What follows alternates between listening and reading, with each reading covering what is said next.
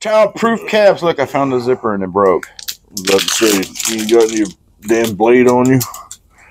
I do. I'll just throw that wherever.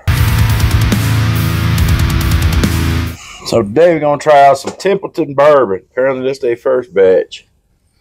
Uh, don't know crap about it. Never bought it because it's always been Ryan. We ain't big fan of rye. Yeah, I've tasted it before and was not a massive fan, but it was just their baseline rye. Says non-chilled filter, mash bill, forty percent rye, fifty-five percent corn, five percent barley.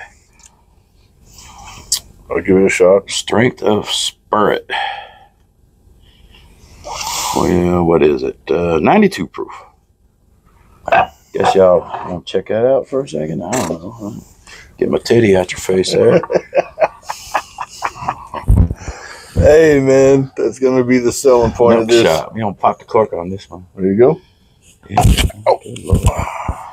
I expect dollar bills, so let's start tipping.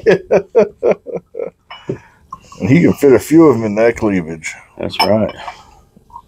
I'm an official Chunkendale. Ooh, that looks like urine. It, it's really kind of light, ain't it? Oh, It don't smell bad though. I can't smell nothing. It smells like water. No, it's, it's a little, it's a Oh, little yeah. oaky. Very low key, buttery. Yeah, just That's a all I get. little sweetness on it, little oak. Mm, Not sure the age statement on it. uh, I don't know. I didn't look at it. Let's uh, at least give it a shot and see how it goes. All right. Pinky's out. Pinky's out.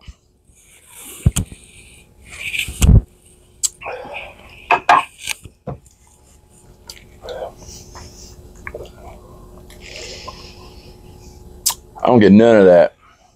Yeah, not a whole lot.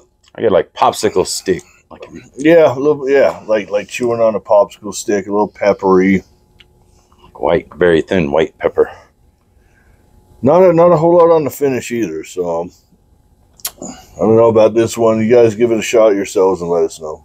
Yeah, that one's all right.